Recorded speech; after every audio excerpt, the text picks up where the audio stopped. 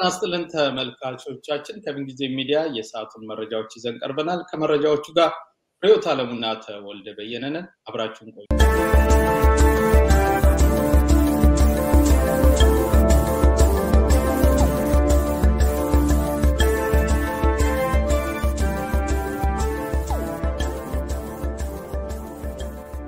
ወደ መጀመሪያው ዜና ስናልፍ ባህር ዳር በርካታ ወጣቶች እየታሰሩ ስለመሆኑ ዘጠነኛ እና ሶስተኛ ፖሊስ ጣቢያ በተለይ ደግሞ በብዛት እንደሚገኙ የኢትዮ ኒውስ ዘገባ ያስረዳል። ሞጣ ትላንት ለተቃውሞ የወጣው ህዝብ አደባባይ ማደሩን እና ዛሬ ሌሊት ጀምሮ መከላከያ ተኩስ መክፈቱን በዚህም ደግሞ ቢያንስ ሶስት ሰዎች እንደተገደሉ የኢትዮ ኒውስ ዘገባ ጨምሮ አስረድቷል ማለት ነው። በሌላ በኩል ሀገራቸውና ህዝባቸውን ያገለገሉ አካላት ላይ የሚደርስ መንግስታዊ እገታ እንዲቆም የፓርላማ አባላት የሆኑ የአብን አባላት ማሳሰባቸውንም እንደዚሁ ሌላኛው መረጃ ያስረዳል። በህዝብ ተወካዮች ምክር ቤት የአማራ ብሔራዊ ንቅናቄ ወይንም አብን አባላት በህግ ማስከበር ስም የሚነሱ የህዝብ ጥያቄዎች እና ጠያቂዎችን የማጥፋትና ህዝባችንን አንገት የማስደፋት እንቅስቃሴ አጥብቀን እንቃወማለን ሲሉ ነው መግለጫ ያወጡት።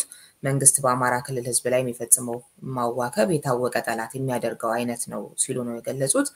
በመሆኑም ማዋከቡ በአስቸኳይ ካልቆመ ሀገርና ህዝብ በጉጉት የሚጠብቀው የሀገራዊ ምክክር ከወዲሁ እንዲጨናገፍ የሚያደርግ ውጤት ያስከትላል ሲሉ ነው የገለጹት። እንግዲህ ዝርዝሩን በኋላ እንመለስበታለን። እነማን ናቸው ለሚለው ይሄንን ያሉት ከአማራ ብሔራዊ ንቅናቄ ለህዝብ ተወካዮች ምክር ቤት አባላት የሆኑት ክርስቲያን ታደለ፣ ደሳለኝ ጫኔ፣ ዘመነ ኃይሉ፣ አበባው ደሳለው እና ሙሉቀን አሰፋ ናቸው። እንግዲህ ከዚሁ ከባህር ዳር ጉዳይ ሳንወጣ ዛሬ ብርጋዴር ጀኔራል ተፈራ ማሞ ፍርድ ቤት ይቀርባሉ የሚል መረጃ ነበረ ትላንትና።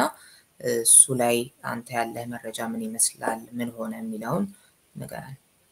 አመሰግናለሁ ርዕዮት። ከብርጋዴር ጄኔራል ተፈራ ማሞ ጋር በተያያዘ እንግዲህ ከታፈኑ በኋላ ባህር ዳር ዘጠነኛ ፖሊስ ጣቢያ ነው የሚገኙት። ዛሬ ጠዋት ፍርድ ቤት እንደሚቀርቡ ነበር መረጃ የወጣው። ነገር ግን አልቀረቡም።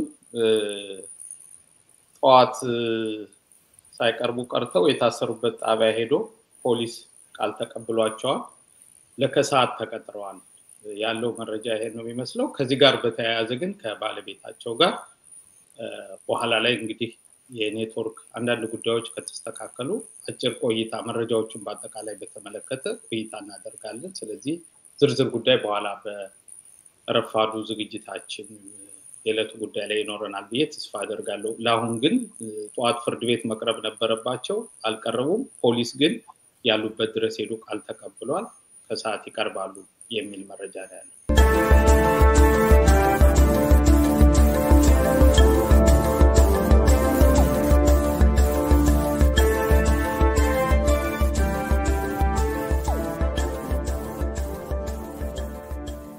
ቀጣዩ መረጃችን ሱዳን አቶ ደመቀ ከሰሞኑ ለምክር ቤት የሰጡትን ማብራሪያ ማውገዟን የሚመለከት ነው። ተወስደዋል ያሏቸውን የኢትዮጵያ ግዛቶች በተመለከተ ያደረጉት ንግግር የተሳሳተ ነው ስትል ነው እንግዲህ ሱዳን የገለጸችው። የምክትል ጠቅላይ ሚኒስትር እና የውጭ ጉዳይ ሚኒስትር ደመቀ መኮንን ከሰሞኑ ተወስደዋል ያሏቸውን የኢትዮጵያን ግዛቶች በተመለከተ ለተወካዮች ምክር ቤት የሰጡት ማብራሪያ ነበረ።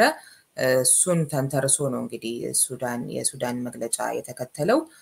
በአቶ ደመቀ የተሰጠው ማብራሪያ የተሳሳተ እና ከአሁን ቀደም የተደረጉ ስምምነቶችን የጣሰ ነው ስትል ነው እንግዲህ ሱዳን ያሳወቀችው።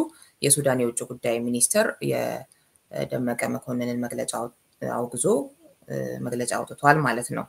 በመግለጫው አቶ ደመቀ አልፋሽካ የተባለውን የሱዳን ግዛት በተመለከተ የሰጡት ማብራሪያ በሀገሪቱ ድንበር ምልክቶችን ለማስቀመጥ በ1902 የተደረገውን ስምምነት የ1903ቱን ፕሮቶኮል እንዲሁም የሁለቱ ሀገራት የውጭ ጉዳይ ሚኒስቴሮች በ1972 ባደረጓቸው የማስታወሻ ልውውጦች ኢትዮጵያ የሰጠችውን እውቅና የሚጥስ ነው ማለቱ ነው እንግዲህ የተዘገበው። ማብራሪያው የጥላቻ ንግግሮችን የያዘና ውጥረትን በማርገብ ቀጠናውን ማረጋጋት በሚያስፈልግበት በዚህ ወቅት የተሰጠ ነው ስትል ነው እንግዲህ ሱዳን የገለጸችው። የጠቀሰቻቸው ስምምነቶች በቅኝ ግዛት ወቅት የተደረጉ ስለመሆናቸው ኢትዮጵያ እየገለጸች ክርክር የምታደርግባቸው መሆኑ የሚታወስ ነው። ዘገባው የአልአይን ነው።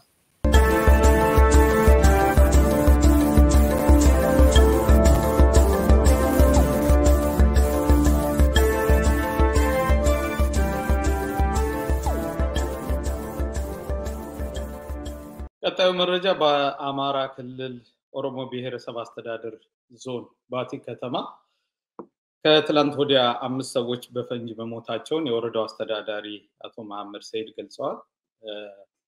ምክንያቱንም ሲያስረዱ በህወሓት ጦርነት ቡድኑ ጥሎት የሄደው ፈንጂ አግኝተው ሲነካኩ የነበሩ ሰዎች ናቸው ህይወታቸው ያለፈ።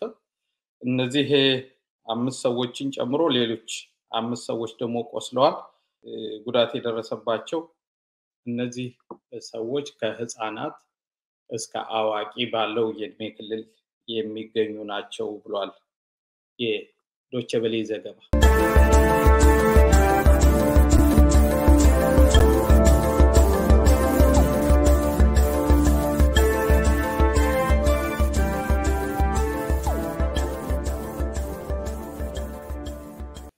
መረጃችን የብሔራዊ ደህንነት አገልግሎት ሰራተኞችን ከማንኛውም የፖለቲካ ፓርቲ ወይም የፖለቲካ ድርጅት አባል መሆንና በመሰል የፖለቲካ ጉዳዮች ላይ በቅስቀሳ ላይ መሳተፍ የሚከለክል አንቀጽ የተጨመረበት ረቂቅ አዋጅ ለፓርላማው መቅረቡን የሚመለከት ነው።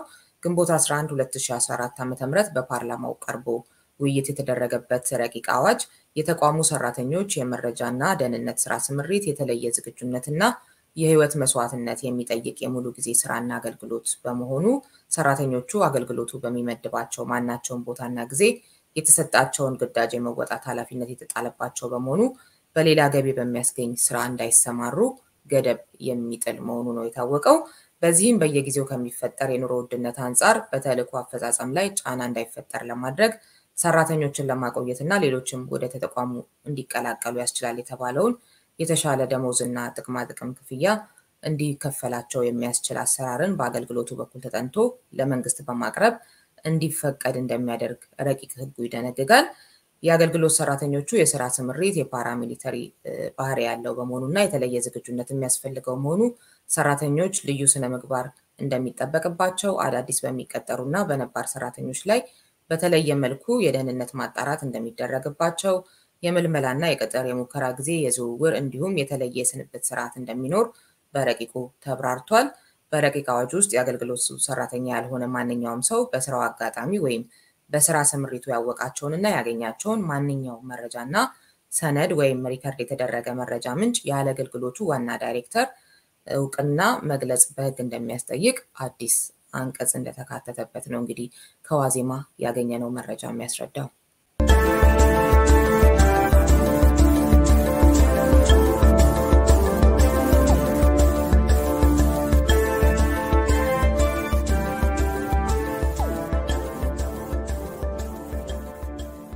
ቀጣዩ መረጃችን ርዕዮት ዜና እረፍት ነው። ተወዳጁ ኮሜዲያን ወንዶሰን ብርሃኑ ወይንም በባህሪ ስሙ ደኩሌ በሀምሳ ሰባት ዓመቱ ትላንት ከዚህ ዓለም በሞት ተለይቷል።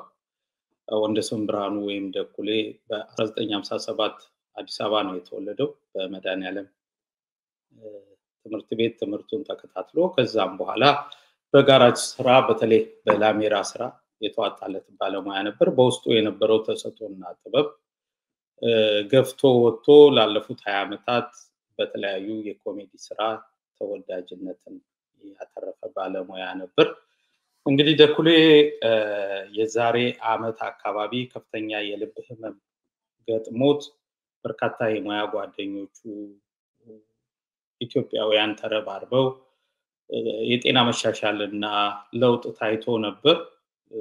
ግን ከዛሬ አስር ቀን በፊት ደግሞ እንደገና ይሄ የልብ ህመሙ አገርሽቶ ወደ ዋሽንግተን ዲሲ ሜዲስታር ሆስፒታል ገብቶ ነበር። በዛም ህክምናውን ሲከታተል ቆይቶ ትላንት እንግዲህ በተወለደ በሀምሳ ሰባት ዓመቱ ከዚህ ዓለም በሞት ተለይቷል። ወንዶሰን ብርሃኑ ወይንም ደኩሌ ባለትዳርና የአምስት ልጆች አባት ነበር። ለመላ ቤተሰቡ፣ ወዳጅ አድናቂዎቹ ምንጊዜ ሚዲያ መጽናናትን ይመኛል። ቀብሩ በትውልድ ሀገሩ ኢትዮጵያ ወይም አዲስ አበባ እንደሚፈጸም ነው መረጃ የሚያስረዳው።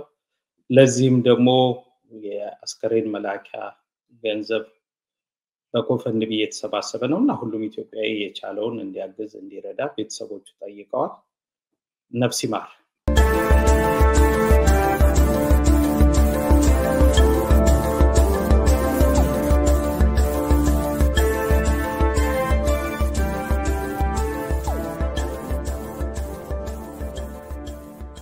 ከምንጊዜ ሚዲያ የሰዓቱ መረጃዎች ይሄን ይመስሉ ነበር። ከቀሪ ዝግጅቶቻችን ጋር አብራችሁ ዝለቁ። በእኛ በኩል